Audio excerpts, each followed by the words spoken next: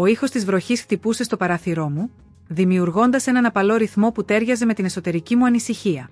Κοιτούσα το ρολόι, τα λεπτά περνούσαν αργά.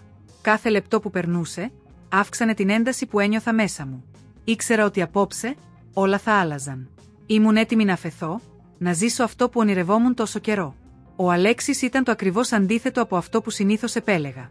Ήταν ενηγματικός, με έναν αέρα μυστηρίου που με έκανε να θέλω να ανακαλύψω τα πάντα για αυτόν.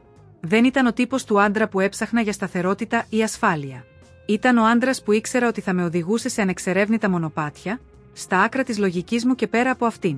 Από την πρώτη στιγμή που τον είδα, κάτι μέσα μου ξύπνησε. Είχαμε γνωριστεί τυχαία σε ένα πάρτι, όπου το βλέμμα του με διέλυσε σε χιλιάδες κομμάτια. Τα μάτια του ήταν σκοτεινά, γεμάτα πάθος και υπόσχεση. Κάθε φορά που μιλούσαμε, η φωνή του έμοιαζε να αγγίζει τις πιο κρυφές πτυχές της ψυχής μου. Ήταν προκλητικός, και κάθε του λέξη φάνταζε σαν ένα παιχνίδι που ήθελα να παίξω, ακόμα και αν ήξερα ότι θα κατέληγα χαμένη. Το μήνυμα που μου έστειλε νωρίτερα το απόγευμα ήταν σύντομο, αλλά γεμάτο υπονοούμενα. Ελά απόψε. Χωρίς ερωτήσεις. Δεν χρειάστηκε να το σκεφτώ πολύ. Ήξερα ότι η στιγμή είχε έρθει. Η διαδρομή μέχρι το διαμέρισμά του φάνηκε ατελείωτη, αλλά με κάθε βήμα που έκανα προς την πόρτα του, η καρδιά μου χτυπούσε όλο και πιο γρήγορα. Όταν έφτασα, η πόρτα άνοιξε πριν προλάβω να χτυπήσω. Στεκόταν εκεί, με ένα ανεπαίσθητο χαμόγελο στα χείλη του, και χωρίς να πει τίποτα, με τράβηξε μέσα. Τα χέρια του ήταν δυνατά, γεμάτα αυτοπεποίθηση, και το άγγιγμά του ήταν φωτιά στο δέρμα μου. Δεν ήθελα να σκεφτώ, δεν ήθελα να διστάσω. Αφέθηκα στη θέρμη του, στο πάθος του. Ήξερα ότι αυτή τη νύχτα δεν θα υπήρχαν όρια, μόνο η απόλυτη παράδοση στον έναν και μοναδικό άνθρωπο που μπορούσε να με κάνει να νιώσω τόσο ζωντανή.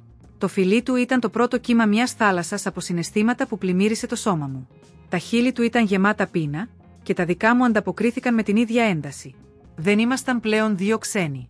Ήμασταν δύο ψυχές που στροβιλίζονταν στον ίδιο καταιγιστικό χορό. Οδήγησε το κορμί μου εκεί που εκείνος ήθελε, και δεν αντιστάθηκα. Ήμουν δική του, και εκείνος δικός μου. Οι στιγμές που ακολούθησαν ήταν αχνές, θολές, σαν ένα όνειρο που δεν ήθελα ποτέ να τελειώσει. Και όταν ήρθε το πρωί, όταν οι πρώτες αχτίδες του ήλιου άρχισαν να γεμίζουν το δωμάτιο, ήξερα ότι κάτι είχε αλλάξει. Δεν ήμασταν οι ίδιοι άνθρωποι που ήμασταν πριν από λίγες ώρες. Είχαμε αγγίξει τις ψυχές μας με έναν τρόπο που λίγοι τολμούν. Εκείνος με κοίταξε, με εκείνο το βλέμμα που έλεγε όλα όσα δεν μπορούσαν να εκφραστούν με λόγια.